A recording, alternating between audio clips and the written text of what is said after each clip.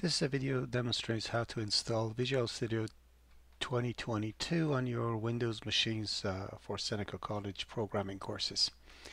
Uh, the very first thing that you need to do is to open your browser and uh, you can just Google search for download Visual Studio 2022. So download Visual Studio 2022 and uh, what comes up is the first thing that comes up is actually the um, link that you want. It's visualstudio.microsoft.com slash vs.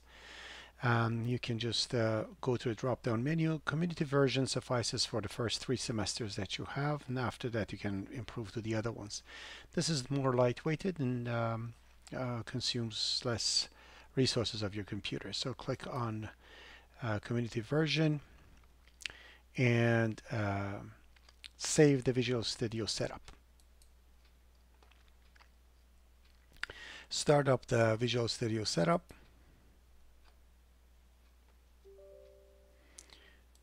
Click on yes to continue the installation.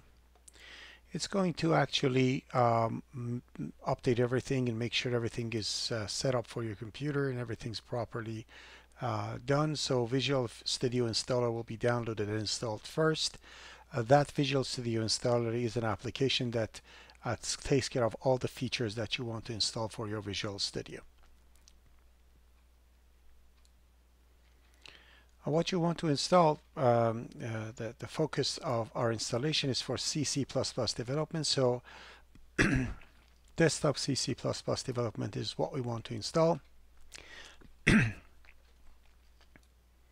installing the um, desktop development uh, with C++ uh, doesn't require to have all the SDKs installed, but these are like uh, these installing these things are not a bad idea because sometimes you uh, download different types of uh, um, um, versions of the um, projects that you are getting from school or uh, other places that they have different SDKs. This gives you the the chance to select the proper one if you want to if you want to use it.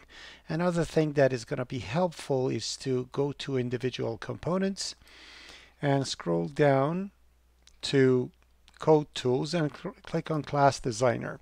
Class Designer gives you an illustration of how classes are in C++. It's going to be helpful for your um, future uh, projects that you are doing so you can see actually what is the class hierarchy of your uh, of your uh, application. Then you can click on uh, install. So it's going to install. And you have to wait for this thing to install. That's going to take a while. So we're going to pause and wait for it to complete the installation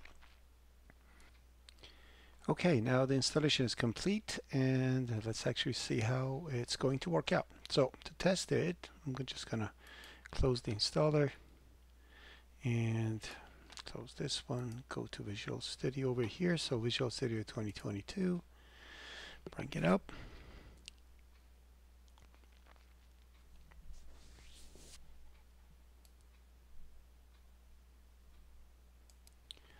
now that it's open we're just going to test it by creating a sample project. So I'm going to create a new project over here.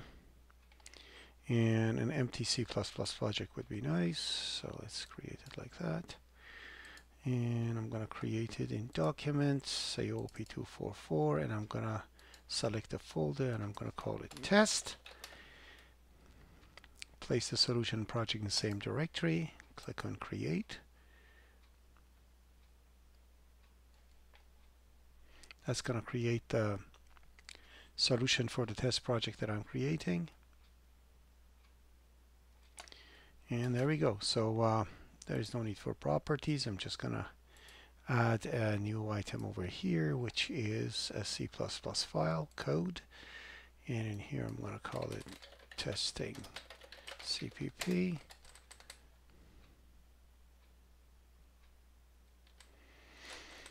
okay so let's write include iostream using